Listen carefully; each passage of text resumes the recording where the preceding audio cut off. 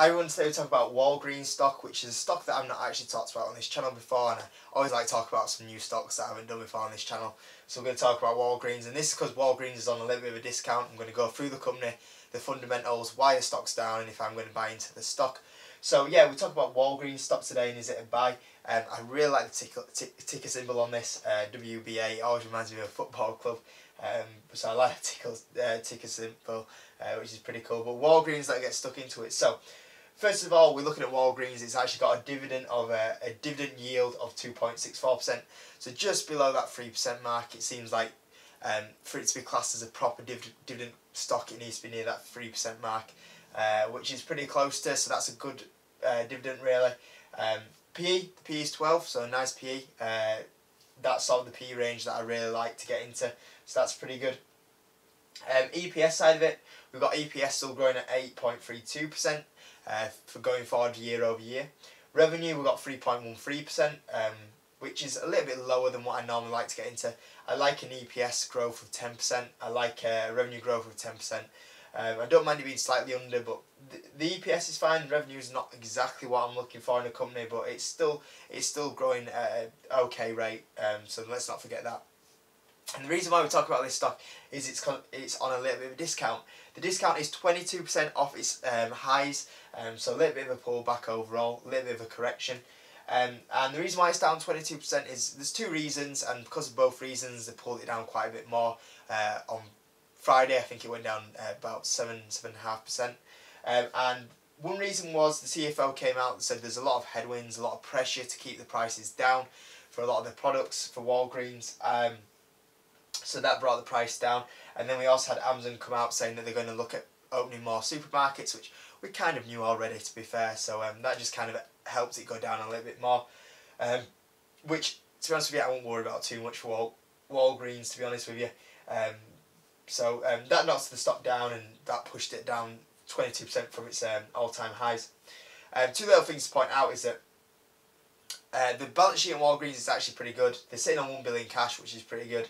Uh, it's got a three times assets to liability uh, ratio, which is good.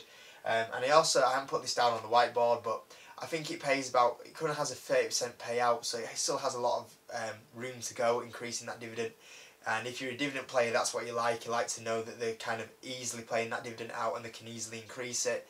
Where you have a lot of companies that are dividend players and they can't do that.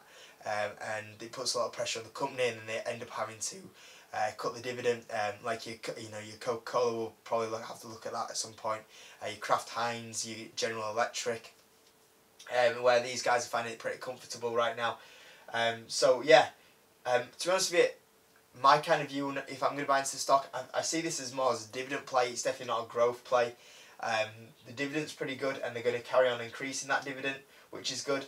Um, I, I really like the company, and I, I would say it's a buy but I probably won't buy it just because of the revenue side of it. I like to have a good high revenue growth as well, near that 10% mark, because I like having a company that can increase the dividend. As well as increasing the dividend, I like a company where the share price is going to go up as well, and you can sell the stock for a lot higher. Um, Walgreens will probably do that, but just not at a very quick rate, what I'd like to happen. Um, so, yeah, that puts me off the company slightly, but I do feel it's a good, strong company. I, I do feel like it's a buy. It just doesn't have the growth side that I would like. Um, but I am going to consider maybe buying a small position into Walgreens. Um, like I said on previous videos, I'm not looking to buy any shares into companies until the end of the month. And if I'm honest with you, I'd like this to go down probably another 10% before I get into it. Uh, if I was to get into it, just to get that um, share price down slightly. Um, so I get that share price movement back up. But if you were so, solely investing into dividend plays, I would say that this is a buy for you uh, at this discount because your dividend's good, it's going to carry on going up.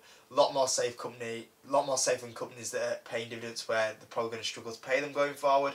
Um, but for Walgreens, you know, it's quite easy for them because of the revenue side of it to carry on increasing that dividend. Um, so yeah, if you're a dividend player, you know, I'd, I'd be tempted to go buy some shares into this. For me, um, it's just the revenue side of it. I'll see if it goes down slightly more, what opportunities are there towards the end of the month. And if this is still around that ratio, I then I might look at it buying into it.